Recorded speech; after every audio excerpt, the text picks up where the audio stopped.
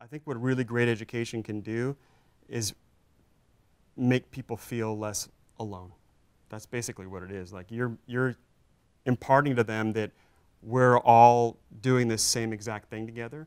We're just doing it in a different space, but you are completely not alone and we're all trying to do this at the same time.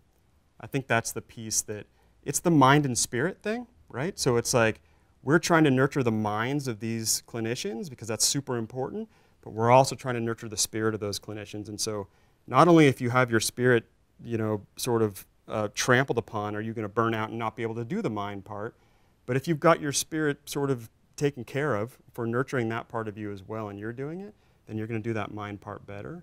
I think education is the, the foundation of that pyramid. So, you know, like Maslow's hierarchy of needs, right?